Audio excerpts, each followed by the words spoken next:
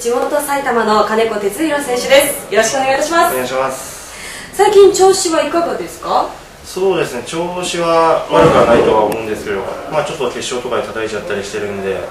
そうですね成績的にはちょっとあれですね。はい。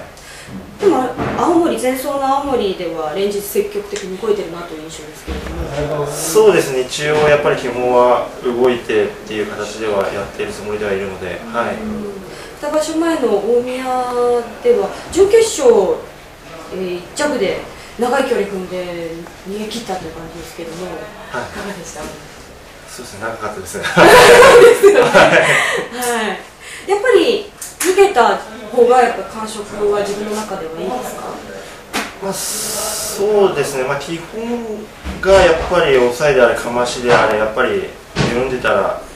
いければいくっていう感じなのでそれがまあうまく早めのまぐりだったり逃げの決まり手になったりしてる感じなので、はい、練習はいかがですか？今回そうですね、まあ、追加だったんで向けてっていう感じではないんですけど、だからもう本当は1週間後ぐらいの競争だったんでそれに向けてずっと練習してたんで、まあ、練習ははいしてきまししてました。はい。練習仲間は普段